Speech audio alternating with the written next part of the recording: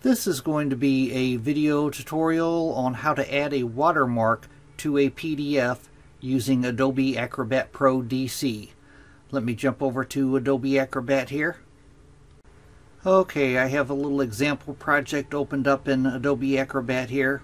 To add a watermark to your project, first thing you want to do is go over to the pane in the right hand side if your pane doesn't look like this, there's a little arrow right here. You could open and close your pane, but you want to select the one that says Edit PDF. I'm going to click on that. And then the tabs up top here, you want to click on Watermark.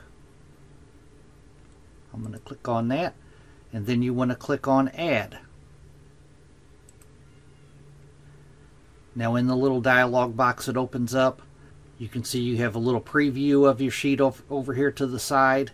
Right up in here, source, you can either add a text watermark where you can create your own text, or you could add a file.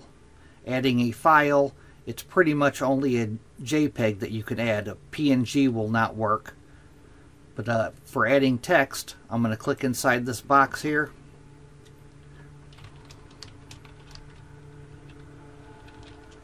I'm going to type private. You can change the uh, font. You could change the size of your uh, text. You can change the color. I'm going to click on this little color box here. I'm going to make it red. Then you would probably want to go down to the bottom down here, appearance, and you would probably want to reduce the opacity. I'm going to reduce it down to about 15%. You could also change, you could rotate it. I'm going to click on 45 here, minus 45. I'll click over here on 45 degrees. That looks good. And then you would click on OK. But you can also add a file if you have a JPEG. I'm going to click on File here. Then I'm going to click on Browse.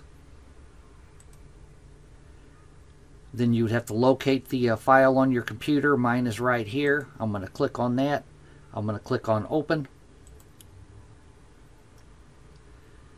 It has saved my previous settings that I was just working on. I'm going to change the rotation to none. You can increase the size. Right in here, you could adjust this to create a larger size.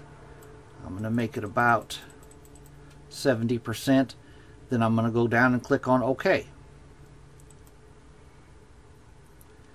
And there is my watermark. Now if you decide you don't like it and you want to remove it, all you got to do is go back up to watermark, click on watermark, and then just click on remove. It'll ask me if I want to, to permanently remove this watermark. I'm going to click on yes. But that is how you add a watermark in Adobe Acrobat Pro DC. Thanks for watching.